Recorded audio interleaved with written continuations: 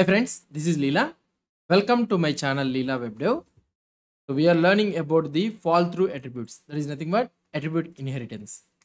So here we are having the in the app.vue we are having this my button and we are sending the class and the style and also the event listeners here through the component as a props but actually these are not props these are fall through attributes which we doesn't mention these things in the props here in this component so if you don't mention in the props and all those things then what will happen? Automatically these things will be appended to the root element. This is the concept what we have learned. For example let's say that okay let's say that we have an another component like base button. So i'm having another component like base button dot vue. And this base button dot vue in return will have a my button.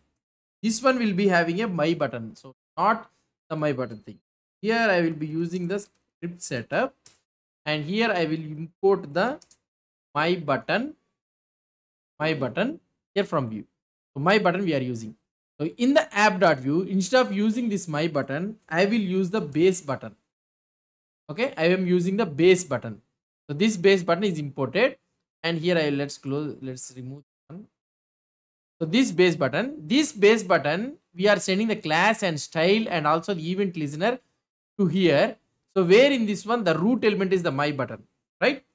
So now what will happen is if a component renders the another component as its root node so in this example let's say that my button is rendering by a base button okay? So we are not using the my button directly here. It is rendering through the base button. Base button is having a root node as a another component like my button. In this scenario then the fall through attributes. What are the attributes are there which we are sending into the base base button? So these all the fall through attributes will be automatically forwarded. Okay forwarded to the base button. So here it will be forwarded to the my button. So that is the thing i want to tell you. Now if you try to see the output so here we are having the class and all those things. And here the my button will be forwarded to the my button here. And these things will be having the merged values like button large and color will be red like this and you will be having the two child clicks also.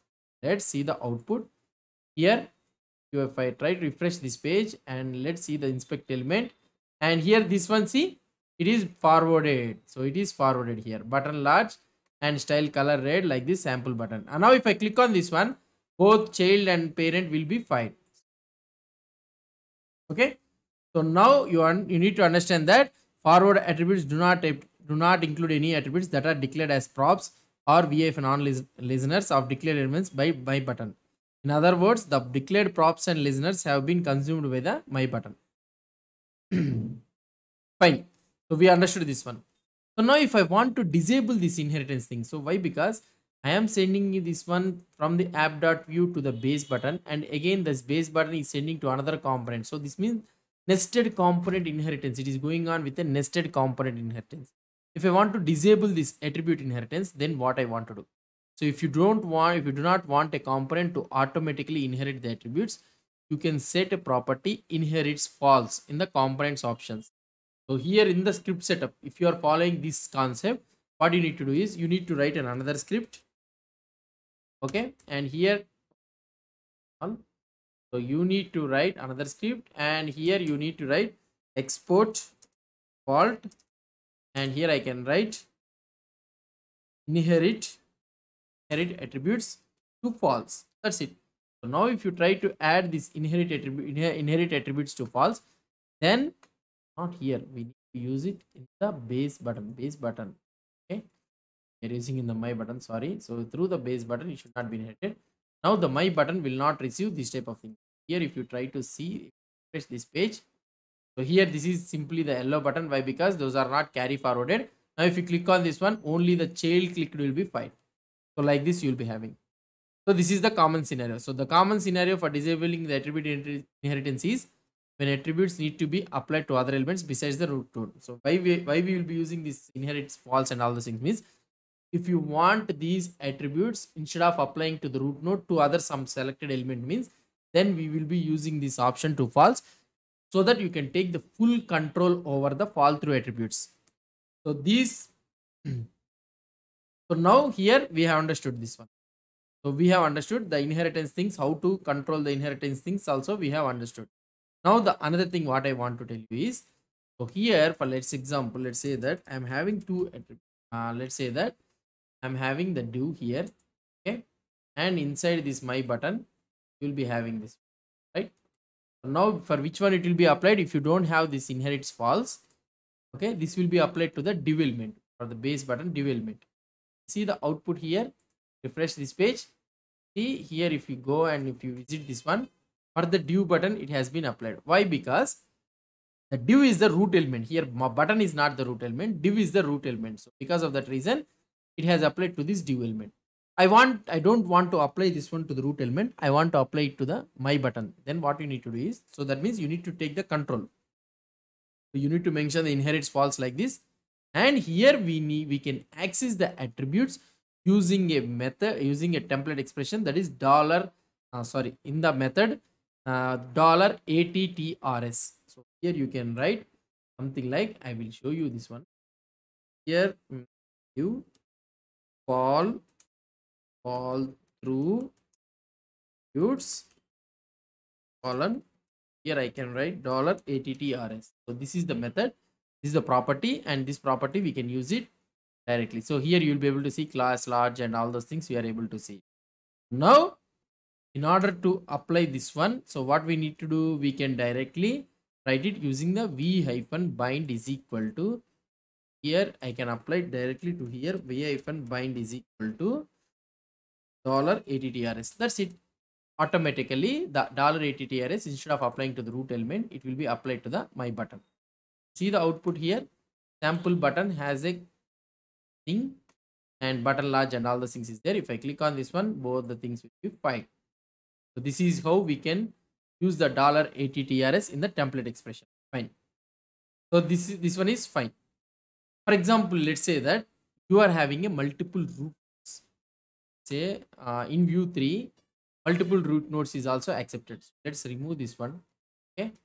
And here uh, you are having a div Leela web dev we are having a multiple root node. So here we are having multiple root nodes like this one is a one root node and this is also a root node. So now in this scenario, I am not applying anything. So here let's remove this one all. I'm not using the inheritance. So that means automatically it will try to apply to the root element. But here there are there are two root elements. Then what we need to do?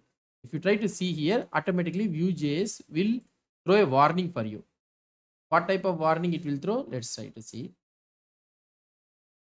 button. So in so this button app dot vue, I am passing this on this button it's receiving and here it instead of access yeah. Now if you see the output see here we are able to see the warning. Why? Because it is trying to tell that you are you are not having one root element so i am not try i am not able to apply the all props to here.